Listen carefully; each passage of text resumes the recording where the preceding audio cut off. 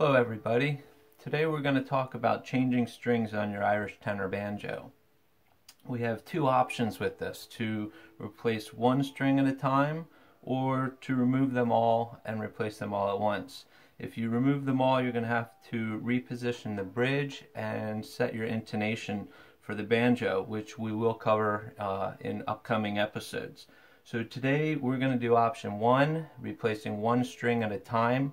I'm going to do my best uh, to show this. It might be hard with the videotape. Um, I'm going to move it around and, and, show you what I do. Um, there's more than one way to, to do this, but this is the way I do it and it seems to work. First thing we're going to do is to remove the old string. Uh, you'll notice I leave my ends long. Um, I do that while I set up the banjo. Um, another reason was uh, to for this videotape because I actually don't need a string change right now. Uh, my strings are still good so it allows me to take it off, put it back on. Uh, simply unwind your tuning peg. You'll loosen the slack off the banjo. You, I like to pull up on the string. I don't know if you can see that. Uh, just keeping tension, it helps it unwind from the tuning peg. Till you get to the, the last wind down here.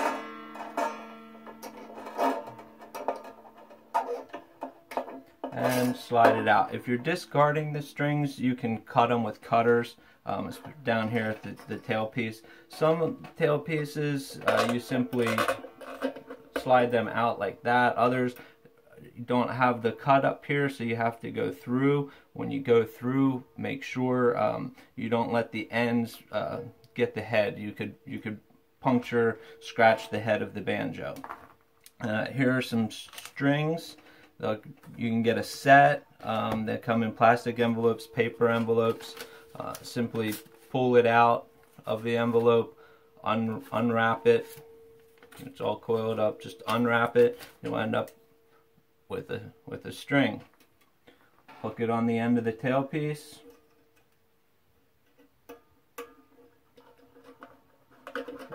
Route it through the front of the tailpiece. Try to get it snug position across the bridge, keeping tension forward on the string. You're going to go up to this end and route the end through the hole in the tuning peg. Um, you're going to want a few inches of uh, slack above the, the fingerboard there, and you're going to keep upward pressure on it and start winding the tuning peg you want the loose end to go under your string for the first wrap around. And I will try to do this again and zoom in, so stick with me here. Now when you get back around to where the string originally came through the tuning peg, this is where you want to go under that string with the string going down towards the tailpiece.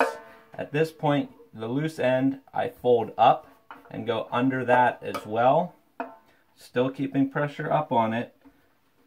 Turn the tuning peg, get it into position up here at the nut and get get tension on it.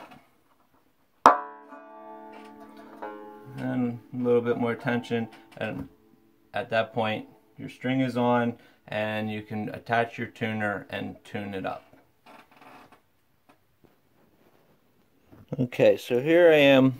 You can see the string comes out through the tuning peg there and is under the main string, which I'm keeping pressure on towards the tailpiece to keep it in place. I'm going to get one wrap around and you can see where the string is right there. I want to go under that. So I'm keeping pressure down towards the tailpiece and pushing down to guide that string under that first wrap. Now you can see my tail end is pulled up. I want to stay under that as well. That way the string is not putting pressure on itself, um, which is uh, one reason why strings break down at that end. And there you have it.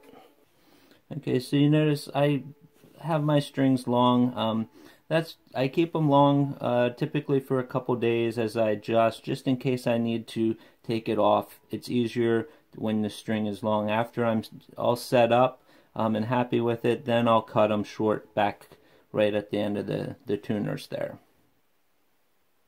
Okay, so I just make a loop, put it through once, put it through twice, done. Okay, and there we have it. I hope that uh, gave you the confidence to uh, try your own string change. It's, it's really not that difficult after you do it once or twice. Um, so give it a shot. If you have any problems or questions, put it in the comments below. There's plenty of people here that are happy to, to help you out. Good luck. Keep plucking.